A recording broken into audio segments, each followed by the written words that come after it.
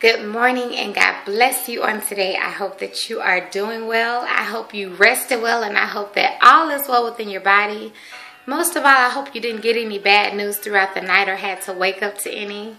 I am coming to briefly bring the daily devotional from The Power of Prayer by E.M. Bounds. And the title this morning is so good. This whole book is so good. I say that every day. But it's titled The History of Prayer.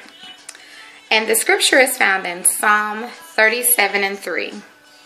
Trust in the Lord and do good. Dwell in the land and enjoy safe pastures. The possibilities of prayer are established by the facts in the history of prayer. Facts are stubborn things. Facts are true things. Theories may be but speculations. Opinions may be wrong, but facts are reliable. Hmm. They cannot be ignored. What are the possibilities of prayer judged by the facts? What is the history of prayer? What does it reveal to us?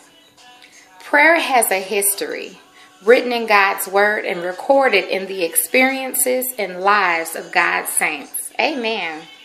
History is truth teaching by example.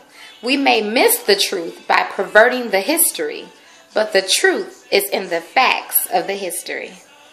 And the prayer says, Thank you, Father, that there is proof in your word of the possibilities and power of prayer. Thank you that I can know the truth and that the truth sets me free. Amen. Hope that blessed someone on today like it blessed me. I hope you have a great day. Remember, that is up to you. And if God woke you up, He woke you up on purpose to walk in your purpose. And don't miss the message looking for the mess. God bless.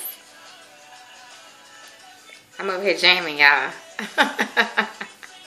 Smile, it's going to be okay.